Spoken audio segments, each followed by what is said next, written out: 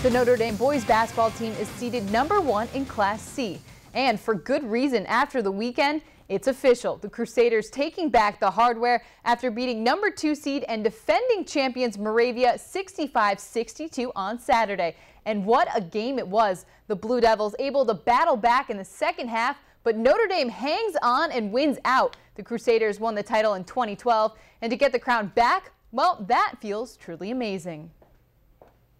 It feels really good to even be able to come and play in here. And Moravia was a great team, and we struggled a little bit in the second half with them, but we were able to you know, pull through and come out with a win. I think we persevered. You know, we hung in there. Uh, Moravia is a very good basketball team, uh, and we knew they were coming back. We took some bad shots, but we got away with it, uh, and uh, we're very fortunate. So we're real happy. It, it feels heavenly. How about that?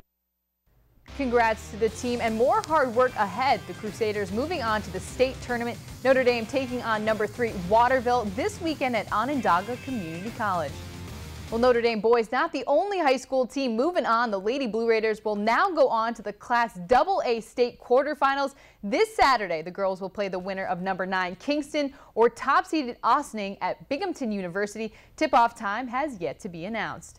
To the hockey rink, the postseason is here for Elmira College. The women's team facing off in their first game in the ECAC West tournament this Saturday against Oswego State. The Ladies Soaring Eagles are 2-0 this season against the Lakers, and Elmira hoping to continue that streak. As for the men, EC getting some big-time revenge against Hobart in the ECAC West semis. With the win, Elmira will now be moving on to the conference finals. And with the championship on the line, EC will be taking on top-seeded Utica College in Utica this Saturday.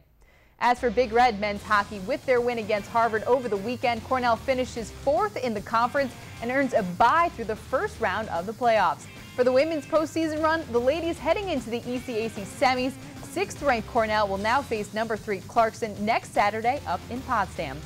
And oh, how the mighty have fallen. Syracuse basketball seeing better days. The latest AP top 10 poll released today, and the Orange have now slipped to seventh. Syracuse losing three out of their last four games. The Orange are looking to get back to a W, though, tomorrow night in the Dome against Georgia Tech. And you may notice that sports director Andy Malnoski is not here. Well, Andy is out in Cooperstown hanging out with the legendary Frank Thomas. Just to name a few, Thomas is a five-time All-Star, four-time Silver Slugger winner, and most importantly, Baseball Hall of Famer. Thomas is in Cooperstown for an orientation visit, and that is definitely some big-time stuff.